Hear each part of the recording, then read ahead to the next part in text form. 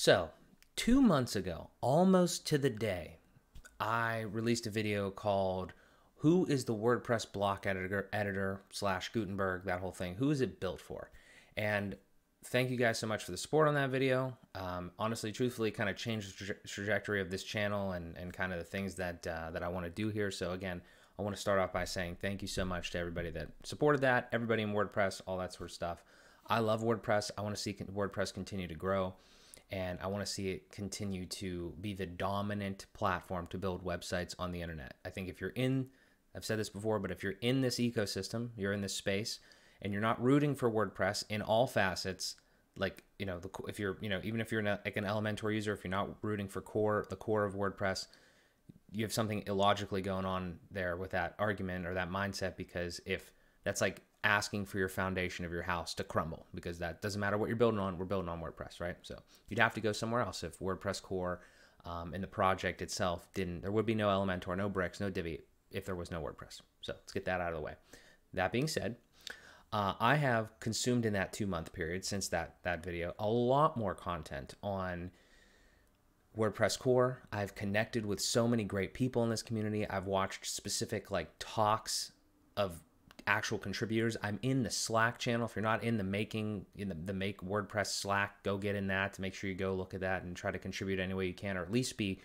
up to speed on what's going on because you know i don't like to be a complainer necessarily when i when i'm not offering any solutions or you know if you're just shouting into the void that's not that's not that's not helpful right so there's got to be you can't just complain you have to also try to give back and give thoughts and stuff like that and try to do it in as productive a way as possible that's partly kind of why i turned on the camera here um, i've watched content like i said really recently i watched um, like specific builds of things specific builds of websites with WordPress core, the block editor, and like, you know, other themes that are kind of layered on top of that.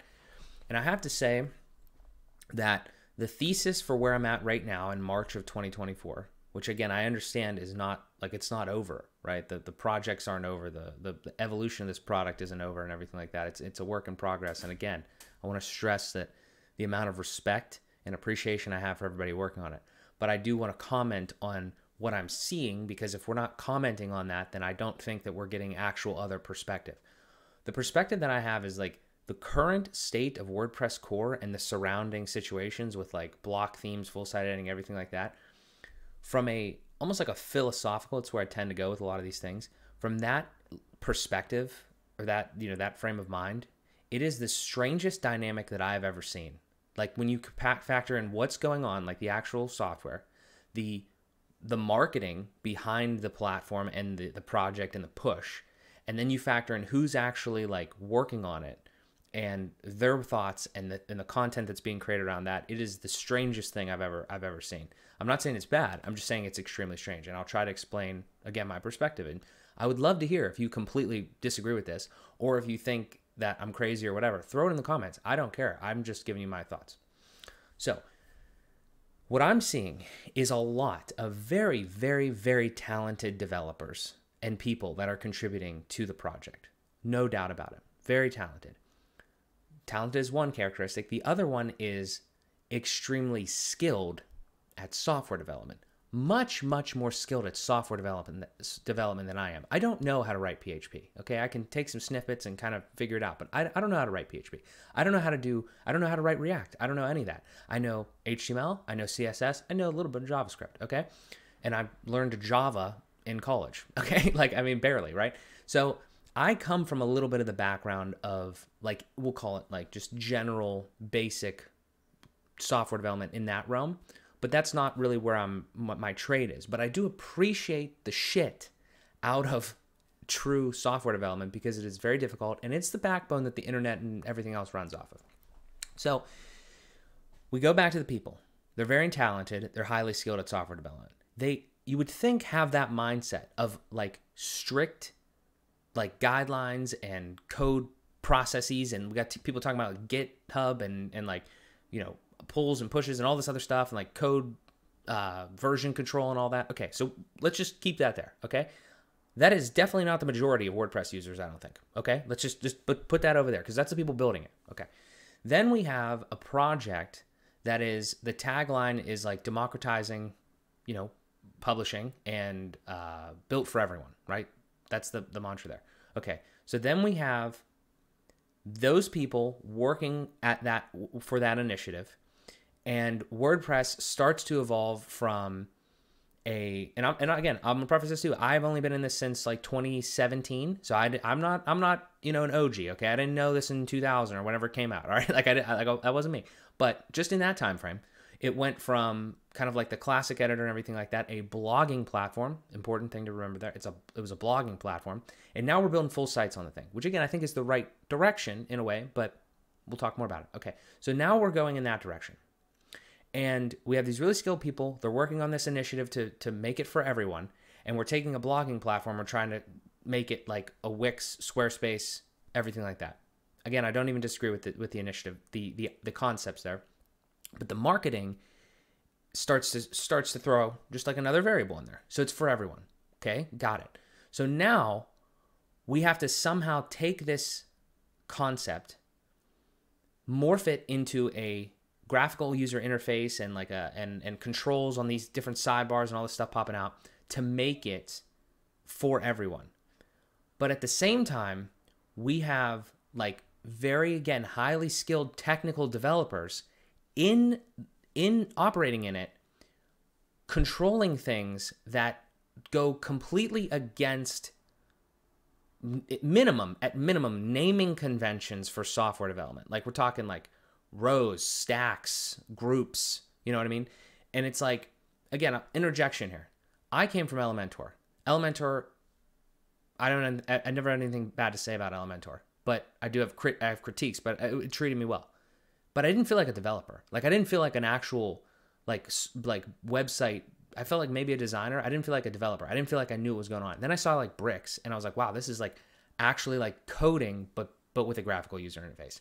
Now to compare that to what's happening currently in like the core full site editing everything like that there is just so much going on so many things are named differently and it's just getting a bad rap i'm not the person to tell you that i hate it or like it. I mean again i'm using bricks. That you can kind of tell from there. But i'm not trying to be a guy that's shitting on gutenberg wordpress core. I want the thing to do well. And i'm trying to make more of a contribution on here and in the slack groups and things like that. But it is very interesting to just kind of take a look back and see how it's it's all going. It's like how could you?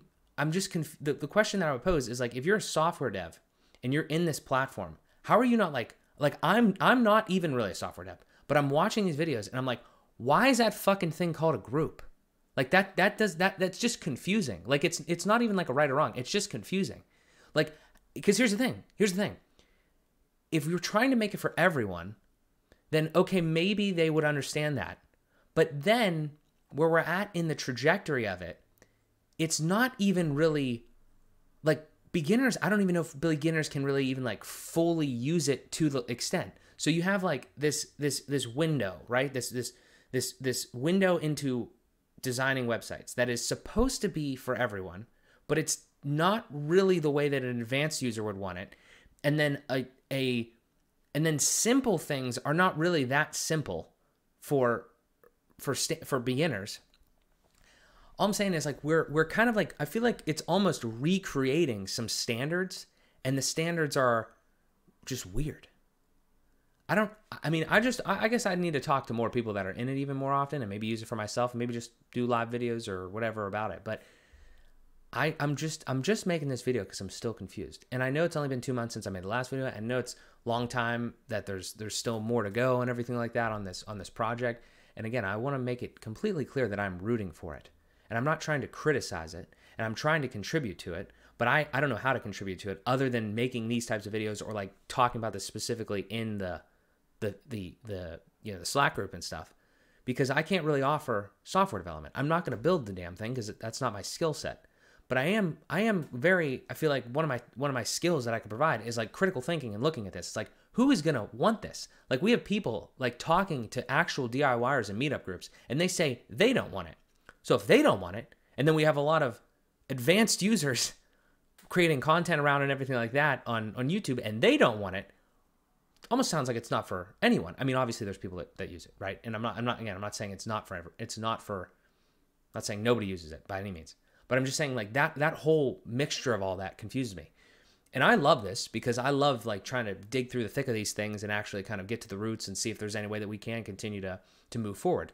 And I know 100% that if we're still in the thick of the actual project, it only gets worse before it gets better. And I just, I don't know, I mean, the prop platform gets worse, but I mean, it, you have to get through these phases. But I'm not going to waste the opportunities to talk about these types of things because regardless of it's Gutenberg or anything else, like, I think this is the normal trajectory of, of, of products and things like that. It's not like a snap your finger. It's not the nature of software. It's never going to be perfect. I don't expect it to be perfect, but I do expect it to kind of have like continue to think about the vision, you know, listen to people that are that are talking about it and stuff. And again, I think we're all rooting for it, regardless of what you use now. If if you could snap your fingers and everything could be in there, and it all could all could work perfectly and, and be perfect. But I'm just seeing so many things and I'm just confused how like people can recommend I'm seeing like like actual like simple bugs and like weirdness and again it's not even bugs. Like again I'm not I'm not saying all these so, these developers are making so many bugs. That's not what I mean. What I mean is like it's like you it's like user experience confu- like almost like confusion and that is leading to almost a weird I'm, I'm, I'm, again i'm watching people that are in it all the time and they're and they're experiencing problems. And it's like i'm i'm confused. Like i don't like i'm not even in it. I don't know. Um i have more thoughts. I'm going to talk more i'm going to talk more on to other people and stuff like that as we continue to go if you like this video, hit the like button. If you want to subscribe to see more, if you think I'm completely wrong and an asshole, dislike the video and tell me why in the comments. But I'm just I'm not I'm not on really on a team. I'm on Team WordPress just in general. Okay, I want to see it continue to grow, and I'm just here taking it all in, talking to all sorts of different people, and giving my thoughts. So I hope you appreciate that. Um, that's all I got. Thank you guys so much. I really appreciate it. I'll talk to you in the next one.